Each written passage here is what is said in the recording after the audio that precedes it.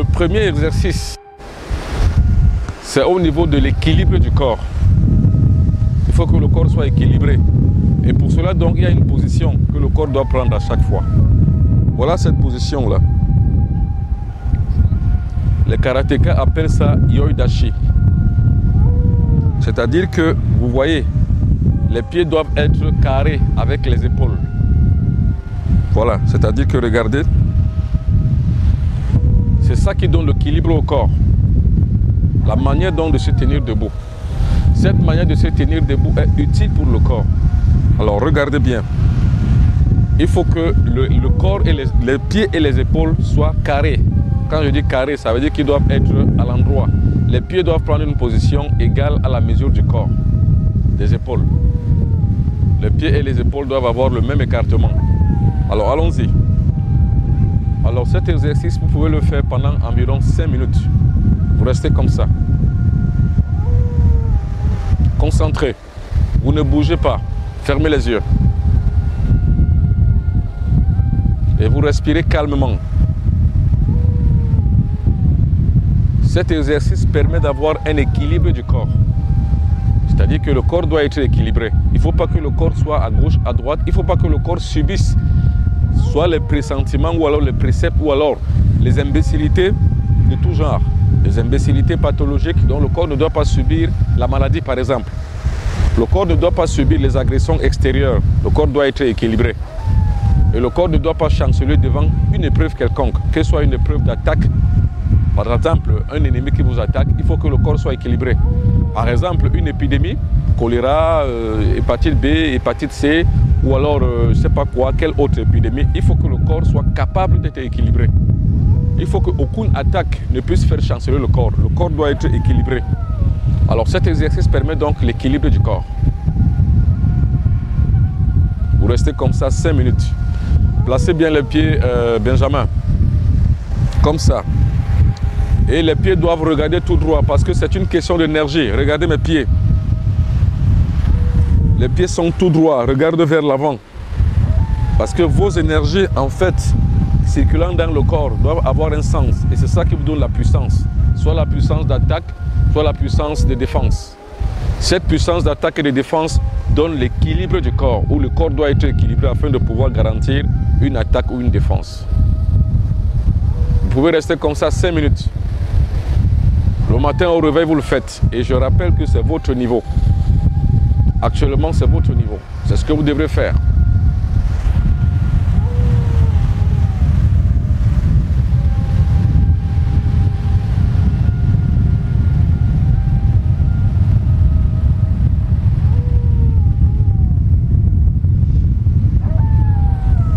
Alors, ça va. On revient. Ça, c'était l'équilibre du corps. Maintenant, nous allons voir ce qu'on appelle la solidité du corps. Il faut que le corps soit solide. Il faut aussi également une certaine position. Donc, le corps qui doit être solide doit avoir une puissance. C'est-à-dire que la puissance que le corps doit développer est une puissance qui lui permet de pouvoir résister. C'est la résistance du corps. Regardez ce que je fais. L'autre pied d'appui, il doit être solide au corps. Vous alternez. Or, le corps ne, doit, pas bouger. Donc, vous pouvez mettre les mains hanches comme ça pour garantir votre équilibre. Le pied d'appui qui est au sol doit être résistant. Ça vous permet d'avoir la résistance du corps.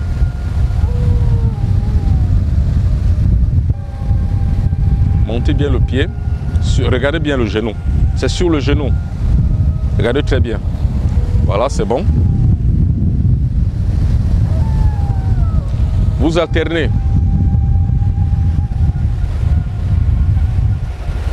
Vous alternez. Vous pouvez faire une minute par position du corps, du pied, afin de pouvoir garantir à l'autre pied la résistance.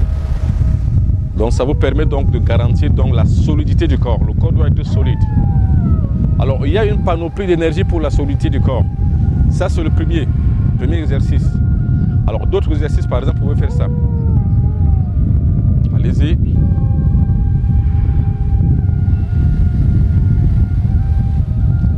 La solidité du corps.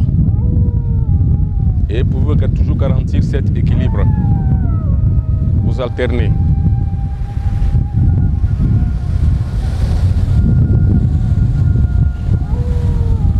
Vous alternez. Vous voyez que l'autre pied d'appui exige un bon équilibre. Donc ça doit être solide le corps. Allez-y, vous alternez. À chaque fois, vous alternez. Allez-y. Vous le faites plusieurs fois.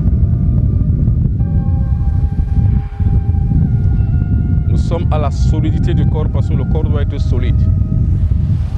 Alors, une autre forme d'exercice toujours pour la solidité du corps. Vous pouvez le faire.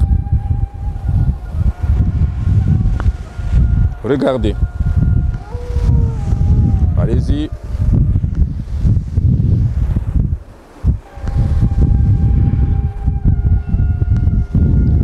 Et encore. Regardez. Extension jambe. Allez-y. Comme je le fais. On y va.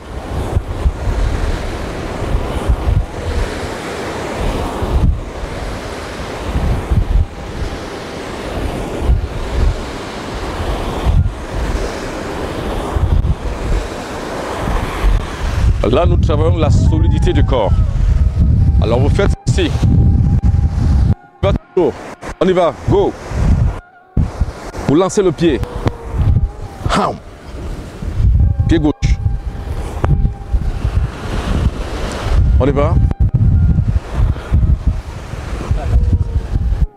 Allons-y. Le mouvement doit être coordonné. On y va, regardez. Et puis on s'arrête. On y va. Regardez, vous avancez le pied et vous le pliez. Hein? On y va. Vous revenez sur le pied, deux pieds. Cross. Vous avancez, vous pliez. Voilà, vous revenez sur le pied d'appui. On y va. On y va. On y va. Ok, ça c'est la solidité du corps. Et c'est très important pour solidifier le corps. Par exemple, ces trois exercices. Est-ce qu'on a compris ça? Reprenez la bonne position.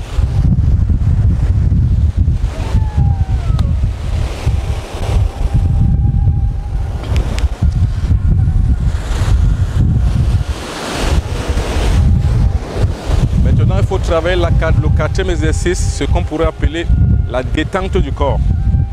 Le corps doit être détendu. On y va. Vous détendez les muscles.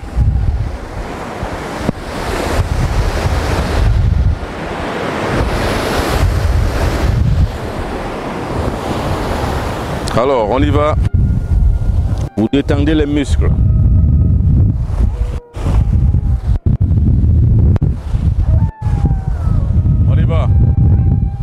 Je fais. Détendez les muscles. On y va. Regardez tout ce que je fais. Vous faites comme je fais.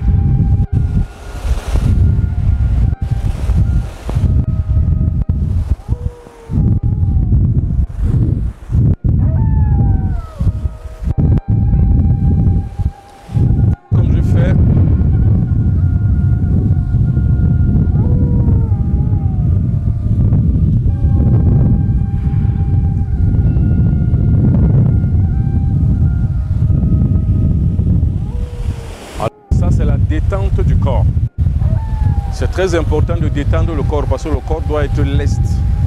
Les mouvements doivent se coordonner entre eux. On y va. Les muscles doivent être détendus.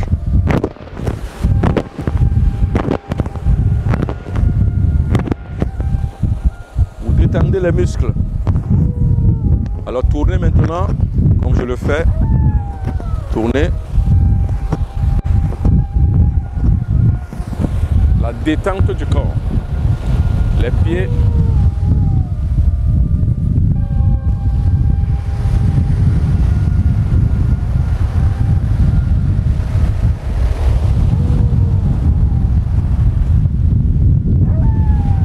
Allez-y, changez.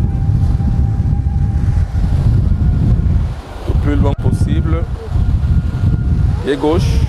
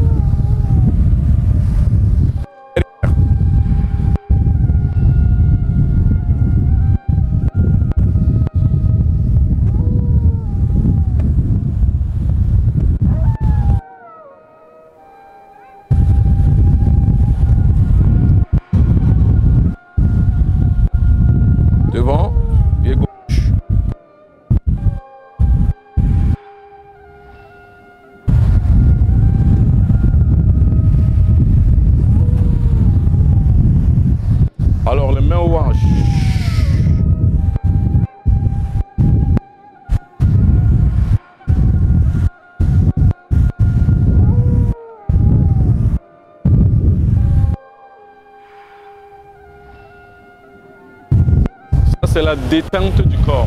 Vous détendez le corps. Les muscles doivent être relâchés.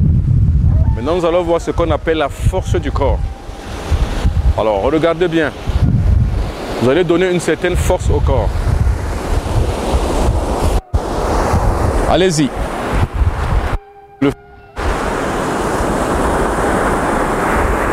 Ça, c'est la force du corps. Vous cherchez la force et lui donnez la force au corps. Monsieur Sili qui est très bien. Voilà, détendez-vous encore. Voilà. Ça, c'est la force du corps. Vous travaillez la force du corps. Vous donnez une certaine force au corps. Parce que le corps doit être fort. Africaine, africain, fils de la lumière, l'heure est venue de parler spiritualité. Fini les beaux discours, fini la victimisation, fini les promesses et les hésitations, fini de faire le con, les ignorants, et fini le doigt pointé sur les autres comme responsables de notre malheur. Le Bombor Benoît Biton crée de nouveaux corps de sciences spirituelles africaines basés sur la connaissance de nos traditions, de nos coutumes, en reconstituant le tissu ancestral dans les pratiques rituelles originelles. Afrique Spiritualité, votre nouveau moteur de recherche de la spiritualité africaine.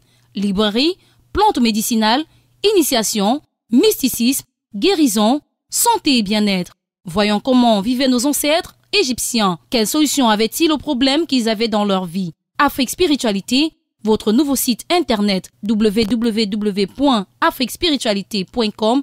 N'hésitez pas, le meilleur vous attend.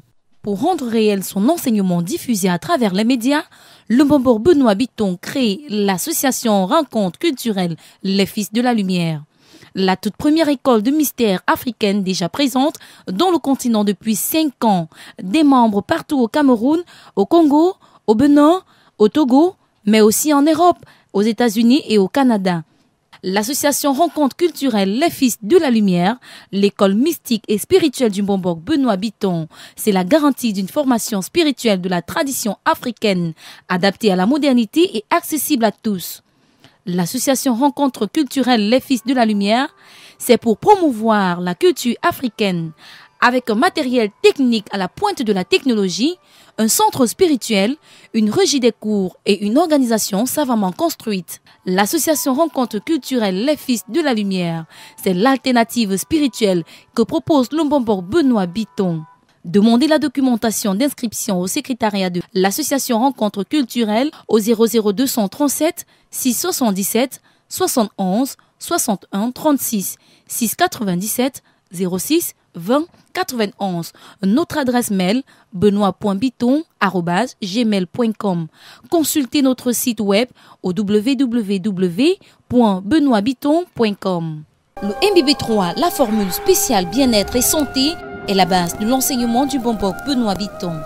c'est pour vous retrouver au carrefour de votre vie. Le MBB3 bien-être et santé, c'est pour bien vous sentir au mieux de votre forme. Mais aussi trouver la véritable vie spirituelle, pouvoir au calme et à la sérénité. Le MBB3 Santé et Bien-être sur fond de spiritualité, promotion et présentation dans l'Hexagone.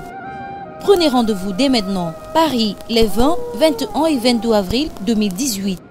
Toulouse, les 27, 28 et 29 avril 2018. Le MBB3 Santé et Bien-être sur fond de spiritualité, bientôt chez vous. Contact et réservation 00237 677 71 61 36 697 06 20 91. Contact WhatsApp uniquement 0033 760 57 65 72. Notre adresse mail benoît.biton.gmail.com Le MBB3 Santé et Bien-être sur fond de spiritualité à Paris et à Toulouse. Vous pouvez rester comme ça même 5 minutes.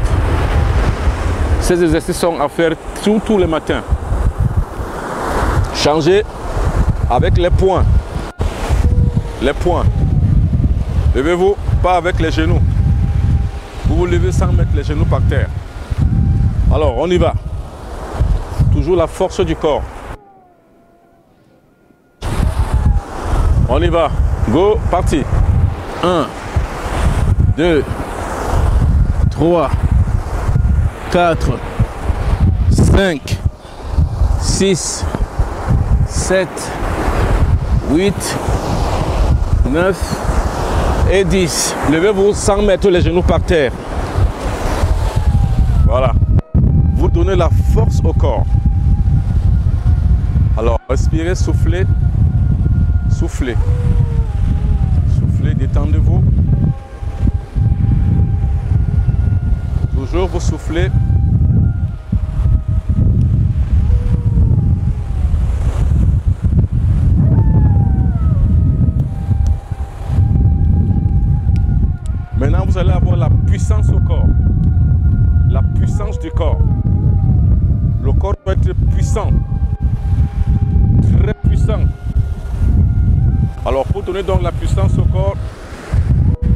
Faites ça.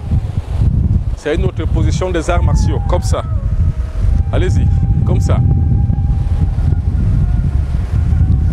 Travaillez la puissance du corps. La puissance du corps. Comme ça. Alors vous descendez. Le torse doit être droit droit. Alors, comme ça. Regardez mes mains. Vous restez comme ça. Ça, c'est la puissance que vous trouvez au corps. Le corps doit être puissant. Très puissant.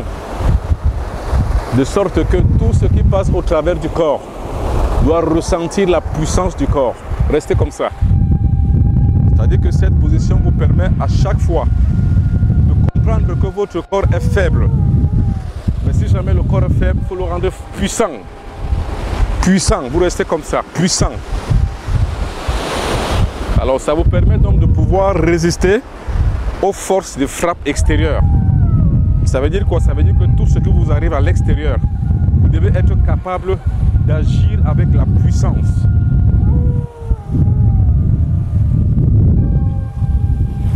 Alors, regardez toujours. Alors, vous allez avancer comme ça. La puissance du corps. Allez-y. C'est un autre exercice de puissance du corps. Comme ça. Alors, vous restez sur place.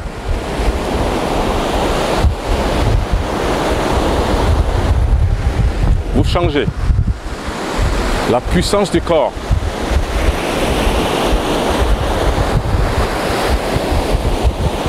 thorax doit être bombé.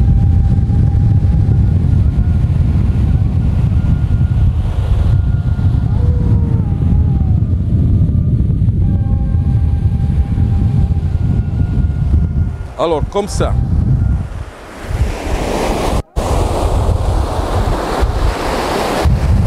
Comme ça. Regardez le pied. L'autre pied tendu. Regardez vers le ciel. Regardez bien le pied tendu qui regarde vers le ciel. Comme ça. Ça, c'est la puissance du corps que vous travaillez. Vous changez. Donc, en même temps, la position des bras. Regardez la position des bras. Vous ne prenez pas l'appui au sol, vous y allez directement. On y va. Hop. Top. De l'autre côté. La puissance du corps. L'autre côté. L'autre côté. On revient. Ça, c'est le travail de puissance. Mais ce n'est pas tout. Vous allez faire la marche du canard. Regardez-moi. On y va. Accroupi.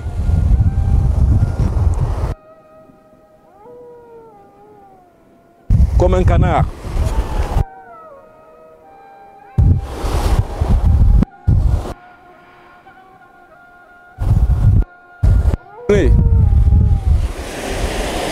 On continue. Allez-y. On y va. C'est bon. Retournez-vous.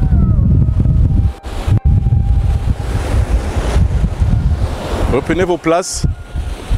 Ça, c'est la puissance du corps. Vous travaillez ainsi la puissance. Le corps doit être très puissant afin de pouvoir résister ou bien attaquer en cas de défense.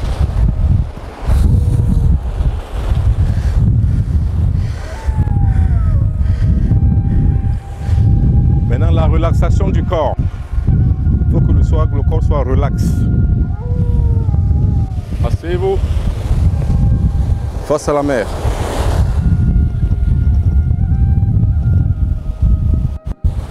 Relaxez le corps. Les pieds sont droits.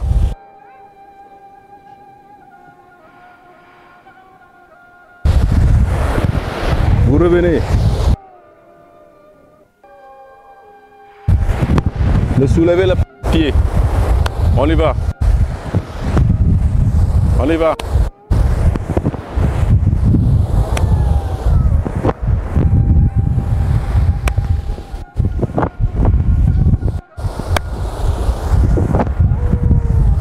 Go.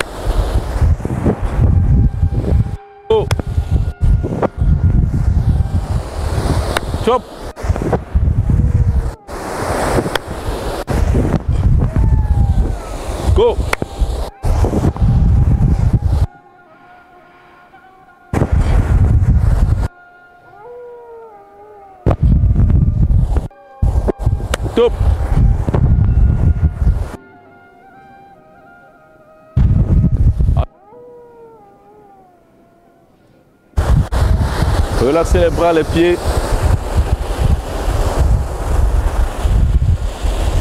Mettez les bras derrière. Relax. Maintenant, on se couche. On soulève les pieds gauche. Regardez, pied gauche. Go. Pied droit. Pied gauche. Pied droit. Pied gauche. Pied droit. Pied gauche. Pied droit. Pied gauche. Pied droit. C'est bon. Revenez. Levez-vous.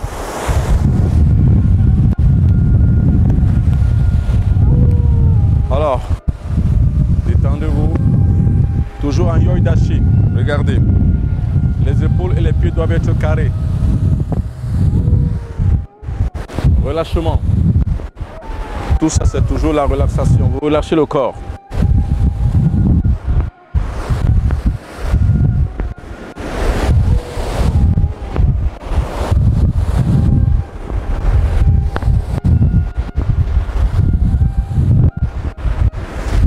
Alors, rassemblez les pieds.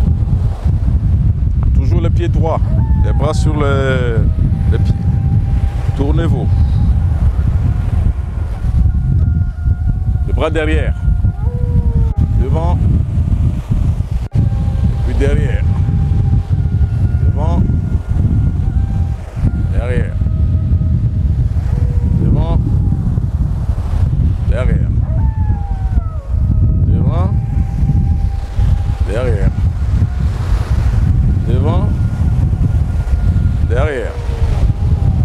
Devant, derrière. À gauche, à droite. Un, gauche. Un, un, un, un. Ça, c'est le huitième exercice que nous avons vu. Là, c'est la relaxation. Maintenant, le neuvième exercice, c'est le contrôle du corps. Parce qu'on doit contrôler le corps. Il y a des techniques pour contrôler le corps. Ça veut dire quoi? Vous avez une maladie qui est dans votre corps, vous devez le contrôler. Vous contrôlez votre respiration, vous contrôlez votre battement du cœur, vous contrôlez votre clignement des paupières, vous contrôlez tout. Le travail de vos reins, le travail de le travail de votre foie, le travail de votre euh, pancréas. Bref, vous contrôlez tous les travaux que le corps fait. Donc tous les centres moteurs, vous les contrôlez. Alors comment on contrôle les centres moteurs du corps? Il faut savoir que nous avons cinq centres moteurs du corps. Il y a le cerveau, il y a le cœur, il y a l'estomac, il y a les deux reins et il y a le sexe.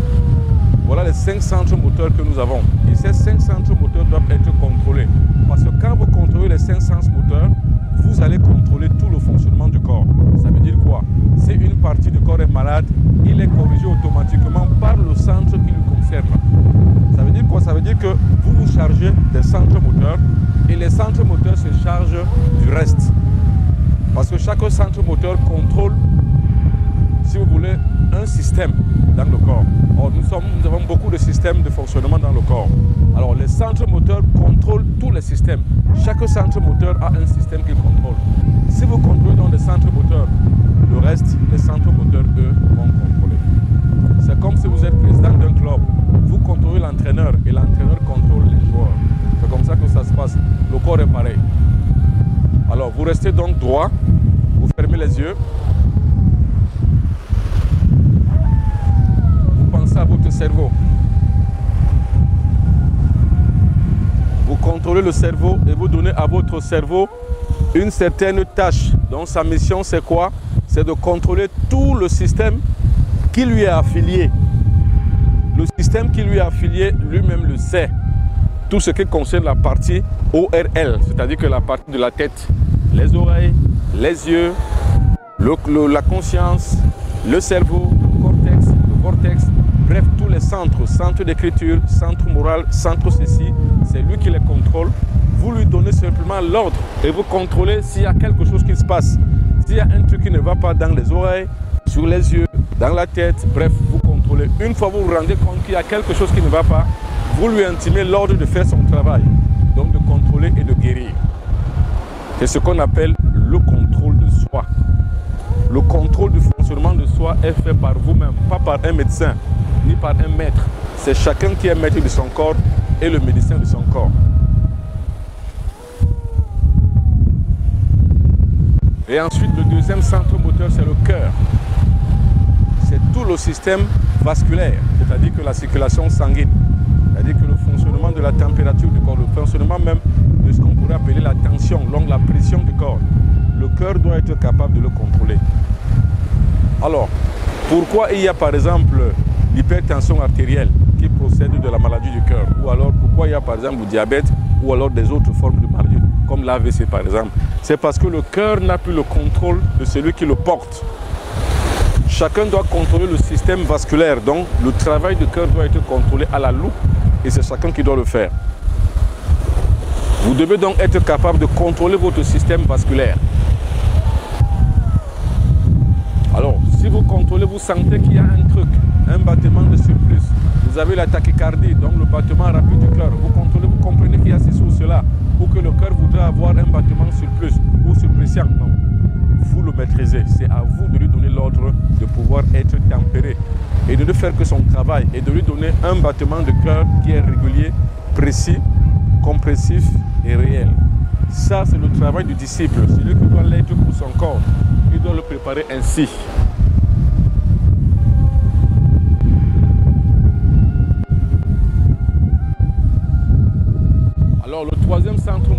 Votre estomac. Alors, vous sentez votre estomac. Vous regardez votre estomac, est-ce qu'il a un ulcère? Est-ce qu'il a des problèmes gastriques? Est-ce qu'il y a d'autres formes de maladies que vous avez? Est-ce que vous avez, par exemple, une tumeur à l'estomac? Est-ce que vous avez ceci ou cela à l'estomac? C'est à vous de voir. Vous contrôlez ça comme ça. Vous contrôlez le fonctionnement du centre moteur qui est lié à l'estomac, donc à la digestion. Le centre digestif, est-ce qu'il digère bien? Est-ce qu'il digère mal? Est-ce qu'il est en train de faire son travail de digestion comme il faut? Est-ce qu'il est un bon industriel? Parce que ça, faut savoir que la digestion, c'est un combat, c'est un corps à corps. C'est une forme de travail industriel que le corps abat par l'estomac. Vous devez donc être capable de contrôler le travail de ce système digestif qui est contrôlé, dirigé par le centre moteur de l'estomac. Alors, si vous vous rendez compte qu'il y a un problème au niveau de l'estomac, vous lui intimez l'ordre de faire son travail. Parce qu'il ne demande que de vous. Il faut savoir que notre corps est ce que nous pensons qu'il est. Et nous, nous sommes ce que nous pensons que nous sommes. C'est ça le problème magnétique. Le magnétisme, c'est la création de notre environnement par nous-mêmes, avec nous-mêmes et en rapport avec ce que nous pensons de nous-mêmes. Or, tel nous pensons de nous-mêmes, tel nous sommes. Si nous pensons que notre système digestif va mal, nous changeons la façon de penser de lui et nous pensons positif, c'est-à-dire qu'il se porte bien, qu'il travaille bien et qu'il accomplisse bien sa tâche qui lui incombe. C'est ça. Alors, le troisième point maintenant sur lequel vous devez rester, le quatrième, ce sont les deux reins. Le système rénal est un système excréteur associé au foie. Mais les deux reins, c'est un centre moteur assez important est donc chargé de pouvoir nettoyer le corps. Or, vous savez, si vous avez une insuffisance rénale, ça veut dire que votre corps est empoisonné. Parce que toutes les saletés qui sont liées à la digestion ne sont pas rejetées. Ces saletés, donc là, ces acides sulfuriques, ces acides destructifs et nocifs, vont donc enchaîner dans tous les centres du corps et le corps sera donc empoisonné et puis c'est la mort. Donc vous devez donc contrôler vos deux reins afin que ceux-ci puissent faire leur travail rien que leur travail et tout leur travail. Si les deux reins normalement, vous n'avez pas de problème d'excrétion. Parce que l'excrétion passe forcément par les deux reins. Il ne faut pas qu'un seul rein soit malade, défectueux. Il faut que les deux reins fonctionnent normalement. Parce qu'en fait, à votre naissance, vous avez les deux qui fonctionnent normalement. Il ne faut donc pas qu'une agression extérieure arrive à éteindre le fonctionnement de vos deux reins. Donc, vous contrôlez les deux reins. C'est un travail très important.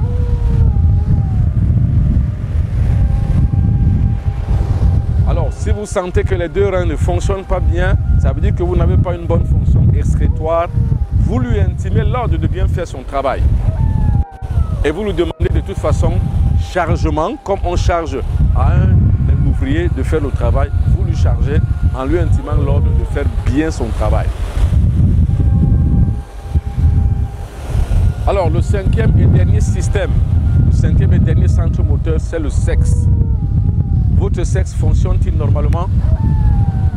Est-ce que votre sexe a une faiblesse? Votre sexe a-t-il une impuissance? Ce n'est pas du tout normal. Est-ce que votre sexe doit être prévu ou alors doit prévoir être toujours habile? Pour les femmes, toujours tellement lié. Pour les hommes, toujours tellement viril. Parce que que ce soit pour les femmes de ce qu'on pourrait appeler la frigidité, que ce soit pour les hommes de ce qu'on pourrait appeler la faiblesse ou l'impuissance sexuelle, cela n'est pas du tout conforme aux règles spirituelles que votre corps doit entretenir. Votre corps doit être capable de pouvoir se lever spirituellement à travers votre sexe.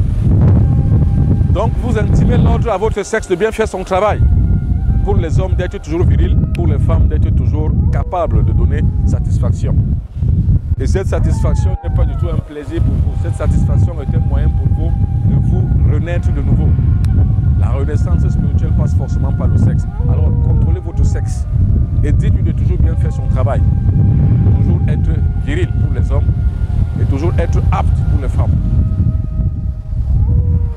Et toujours comprenez et en lui disant que tu n'es pas là pour le plaisir, mais tu es là pour un moyen de me faire développer mes forces intérieures la vitalité intérieure et de pouvoir être en bonne santé. Donc me guérir par rapport à toi et aussi atteindre l'extase mystique, la spiritualité à travers toi.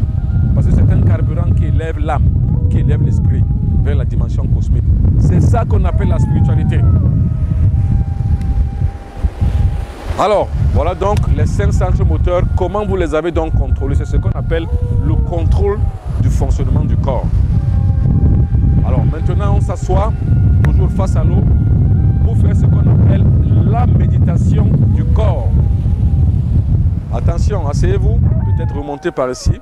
La méditation du corps, c'est très important. Attention, ce n'est pas une méditation ordinaire. Asseyez-vous. Allez-y. Ce n'est pas du tout une méditation ordinaire. Non. Il s'agit ici au corps de rendre compte à l'esprit de tout ce qui va et de tout ce qui ne va pas. Qu'est-ce qui va pour le corps et qu'est-ce qui ne va pas? C'est de ça qu'il est question. Qu'est-ce que le corps doit donc dire à l'esprit? Vous vous asseyez dans cette position-là. Voilà. Croisez les pieds. Parce qu'en en fait, vous devrez être en harmonie. Vous devez faire ce qu'on appelle un arc électrique avec votre corps, un arc magnétique. Donc les pieds doivent être joints, les bras, les doigts aussi doivent être joints, soit croisés, soit joints, afin de pouvoir créer le courant magnétique qui ne se perd pas. Un arc magnétique qui fait en sorte que vous avez le courant qui tourne en continu, qui ne se disparaît pas. Fermez les yeux. La méditation du corps commence. Quelle est donc votre première mission que vous a assignée l'Esprit? Votre première mission que vous a assignée l'Esprit, c'est de pouvoir le garder sain. Le corps doit être sain. Parce qu'il est toujours dit, écrit quelque part, un esprit sain dans un corps sain. Et il est toujours dit dans l'alimentation, nous allons voir ça ce soir, il est toujours dit dans l'alimentation que ton médicament soit ton aliment et que ton aliment soit ton médicament. Vous devez donc faire un rapport à l'esprit. Est-ce que vous avez utilisé le médicament qu'on appelle l'aliment? Ou alors est-ce que vous vous êtes alimenté en qualité de traitement du corps? Est-ce que vous avez donné à l'aliment sa vertu? Thérapeutique pour que le corps soit en bonne santé. Est-ce que vous avez mal mangé? C'est le rapport que vous devez faire à l'esprit. Alors donnez donc à l'esprit le rapport que vous avez de votre fonctionnement du corps. Est-ce que vous avez bien nourri votre corps? Est-ce que vous êtes dans l'alcool, par exemple? Or, vous savez que l'alcool agresse l'esprit et l'empêche de bien vivre dans un corps parce que l'alcool scandalise le corps, agit sur le corps astral et puis sature le corps physique, donc le rend sale, si vous voulez. Est-ce que vous avez donc Arrivé, vous êtes donc arrivé à bannir tout ce qui salit le corps.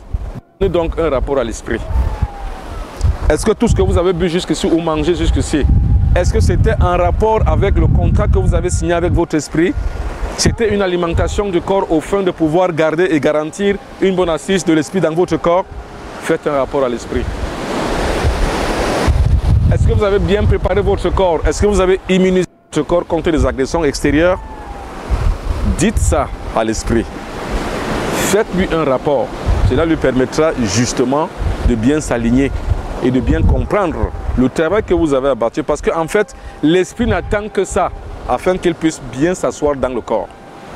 Un corps sain garantit une bonne assise de l'esprit. Parce qu'un esprit sain dans un corps sain, c'est très important à comprendre. Vous méditez sur ça. Un esprit sain dans un corps sain. Est-ce que le corps est bien apte et bien capable de pouvoir garantir à l'esprit une bonne assise sainte? Voilà la question. Rendez un rapport au corps et à l'esprit.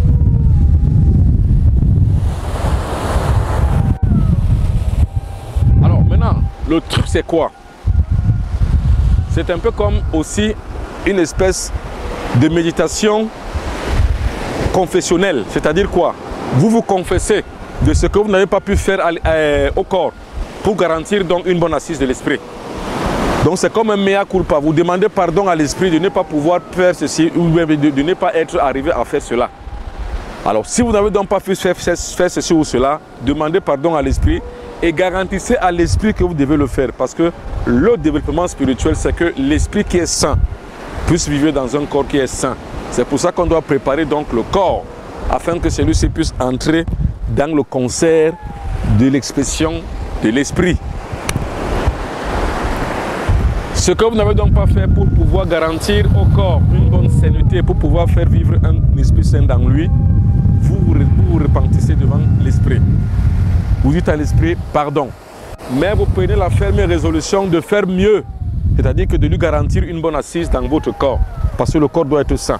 C'est ça le but du disciple, assainir le corps, afin que l'esprit qui est sain puisse bien y vivre.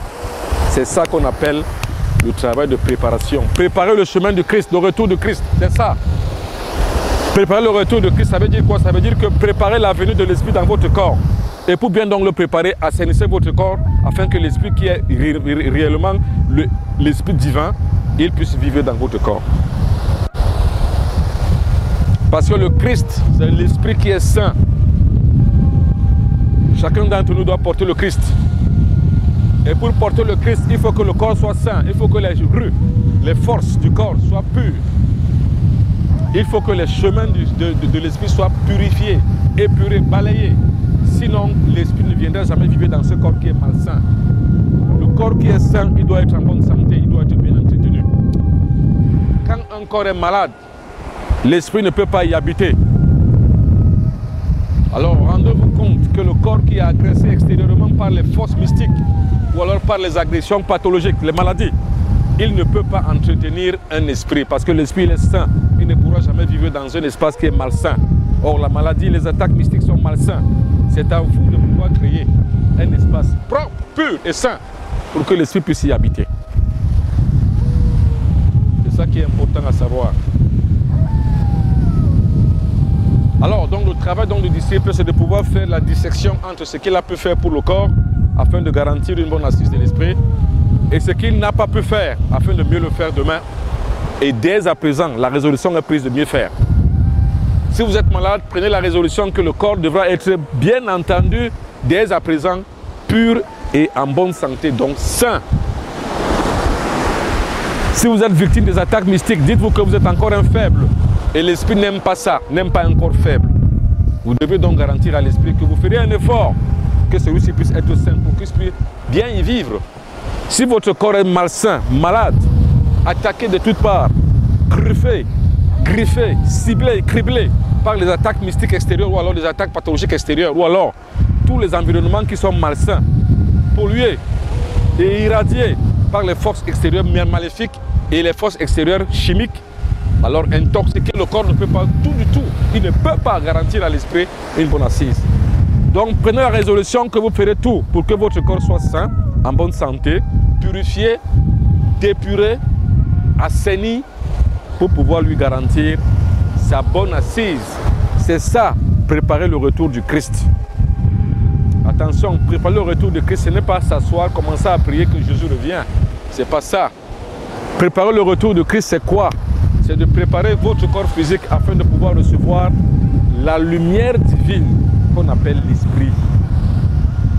Tant que votre corps est malsain, malade, impliqué dans des courants négatifs, dans des zones maléfiques, dans des zones magnétiques négatives, tant que votre corps est truffé des attaques mystiques extérieures et tant qu'il est malade, le Christ, c'est-à-dire que votre esprit, ne peut pas y habiter parce qu'il ne trouvera jamais un corps sain.